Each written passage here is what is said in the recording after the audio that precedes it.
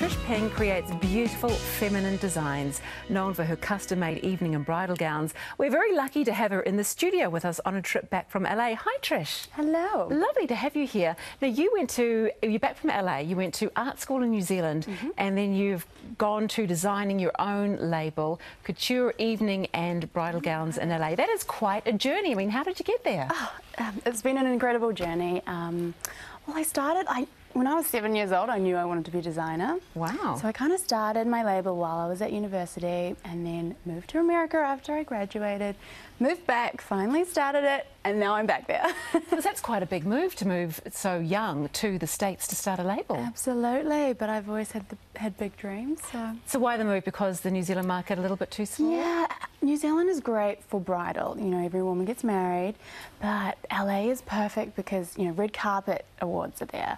And then every woman gets married at least once over there, you know, so it's, it's a huge market over there. At least, at least once anyway. Yeah. Uh, we've got some of your beautiful uh, shots of your new bridal gowns on screen. I think we're going to have them on screen now. There's some of them there. Uh, what's on trend at the moment for you? What are you finding people are really liking at the moment? So my bridal gowns, you know, they're always very classic because, you know, you want to look back in 20, 20 30 years time There's to see beautiful ones there. Gosh. Some timeless gowns and not regret what you what you chose. Yes. Um, but 80s. Let's look at that for a moment.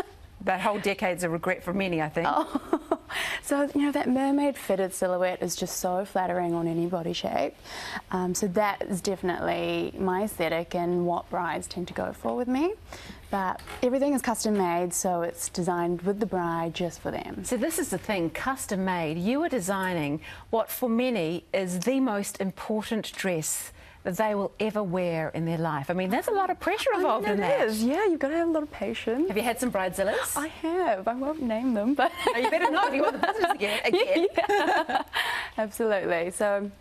It's just it's a it's a journey though because sometimes you know I meet them for the first time and every bride has a moment where they cry at the fitting or at the consultation. Well, it's an emotional thing, isn't it? A lot of love in it too. And sometimes I'm like, oh my God, I'm even tearing up and I don't even know you.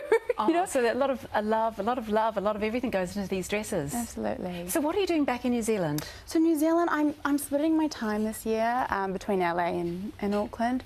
Um, fittings, you know, once you have a bride, it's it's about three to six fittings with them. So, you know, you've got to be along the journey with them. So coming back for them and, and meeting new brides as well.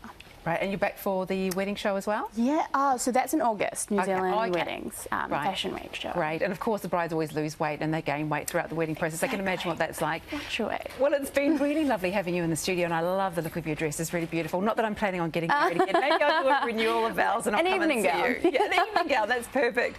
Thank you so much for joining us, Trish. And the New Zealand Fashion Week bridal show is one of the best shows to attend. We hear they have the very best goodie bags as well. And Trish has two tickets to give away to you at home. So go to our Facebook page to enter right now.